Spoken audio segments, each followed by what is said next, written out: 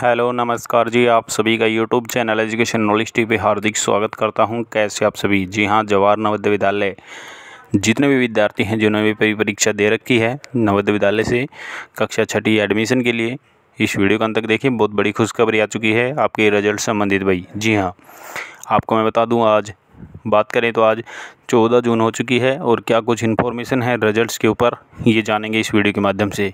सबसे बड़ी इन्फॉर्मेशन ये है कि 20 लाख से ज़्यादा छात्र छात्राओं ने परीक्षा दे रखी है नवोदय विद्यालय एडमिशन के लिए। और वही पैंतालीस हज़ार यहाँ पर सीटें हैं।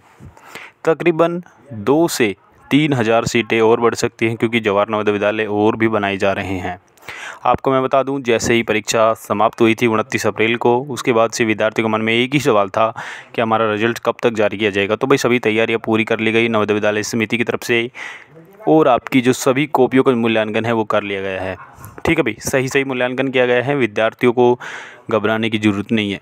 जी हाँ वही मैं आपको बता दूँ, इस बार आपको बोनस अंक भी दिए जा रहे हैं, तकरीबन दो से तीन नंबरों का। काफ़ी सारे जो सवाल थे क्वेश्चन थे वो आउट ऑफ़ सिलेबस भी आए थे भाई। ठीक है सिलेबस में थे ही नहीं वे, वे वे उनका अब आपको बोनस अंक दिया जा रहा है। बोनस अंक के चलते अब विद्यार्थी ज़्यादा से ज़्यादा प्रमोट हो रहे हैं भाई। ठीक है उसी के साथ मैं आपको बता दूँ सभी तैयारियाँ पूरी कर ली गई है। आज चौदह जून हो चुकी है आपका जो रिज़ल्ट है जी हाँ आपको जो रिज़ल्ट है इसी हफ़्ते आने की उम्मीद है।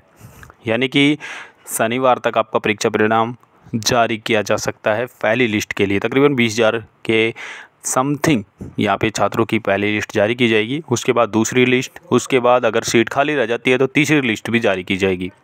आपको मैं बता दूँ, जवाहर नवोदय विद्यालय के जितने भी विद्यार्थी हैं, उनको घबराने की ज़रूरत बिल्कुल भी नहीं है, चैनल को सब्सक्राइब कर लें। जैसे ही नई इन्फॉर्मेशन मिले भी आपको, चैनल पर सभी जानकारी मिलती रहेगी। चैनल को सब्सक्राइब ज़रूर कर लें, क्योंकि कोई भी जानकारी मिस न हो आपकी। धन्यवाद।